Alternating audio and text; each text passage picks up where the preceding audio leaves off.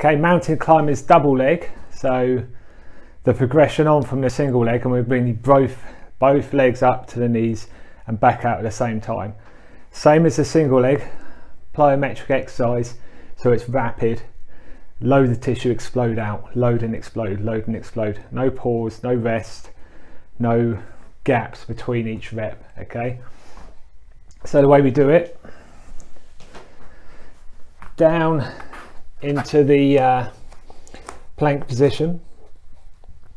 And then this time what we're going to do is when we go, we'll draw the knees up simultaneously and then back out. Yeah, so both knees together.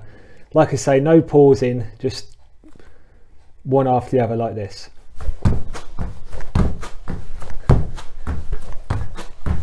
Okay.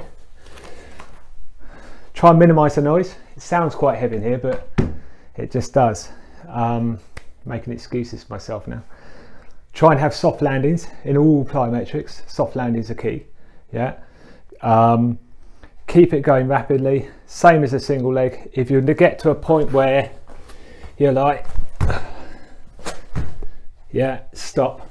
That's your set done. Revisit in two to three days time.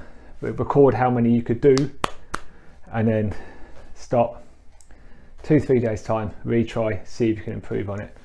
But there's no point continuing it once you get to that stage because it's no longer a serviceable plyometric exercise.